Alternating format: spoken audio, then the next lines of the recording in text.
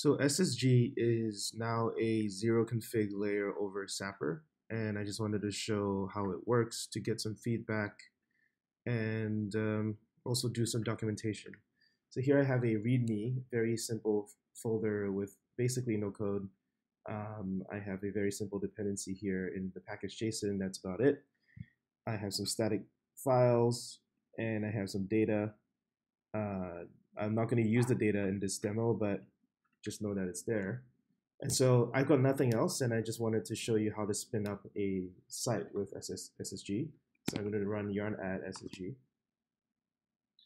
Um, and in the meantime, I can start scaffolding out stuff. The, the bare minimum that you have to give it is a source with a routes. Um, and then I'm just going to do an index.svelte with an h1 hello world. Okay, so that's the only coding I've done. Um, SSG comes with a couple of commands. Um, so run, so one of them is dev. There's no config, so it's just continuing as a regular Sapper app, but with fallbacks. So now we've loaded it up. Notice I don't have any rollup or webpack config. I have a rollup config that ships internally with that. Um, so that's great. And now what I want to do is uh, pull in my pull in the rest of my site. Hmm. Actually, let me let me just like eject. So there's there's an injection system. So for example, um, I'm gonna do yarn ssg eject, and these are all the sample files that are in, contained inside of SSG that you can eject and then modify on your own. Um, so let's just say I'm going to eject the client. Let's just say I'm going to eject the client and maybe the template. Um, so now inside of the client, I can uh, import some CSS, for example. So um, blue.css, uh, body, background, background, orange,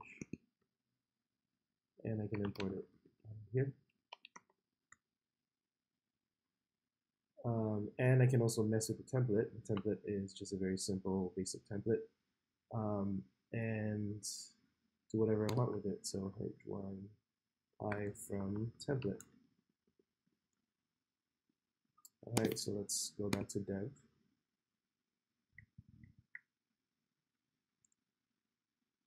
Um, and yeah, that's a that's a very nice demo of what it's going on.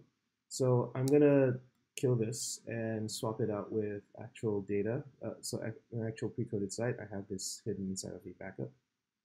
So let me be down here. Um, so inside of this source folder now, I have routes with some with some code. I have clients, I have server, um, some service worker stuff, as well as a modified template. Um, so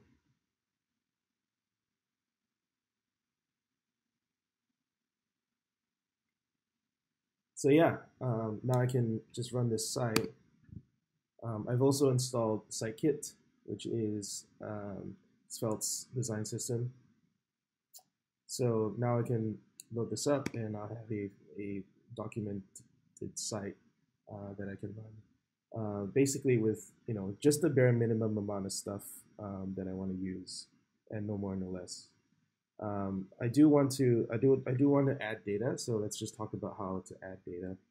Um, so let's, I'm just going to delete this. Okay. So now let's talk about how to add data.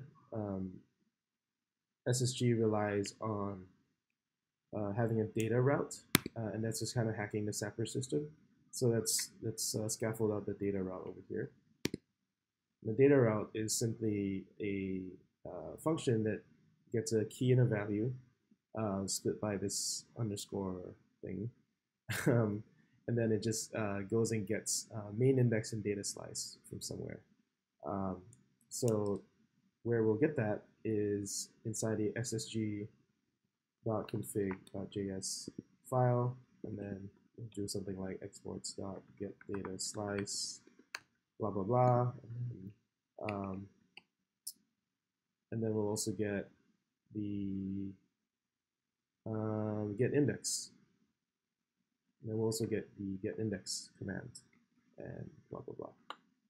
Um, so you can do whatever arbitrary code you want up front, um, and that's the rough API.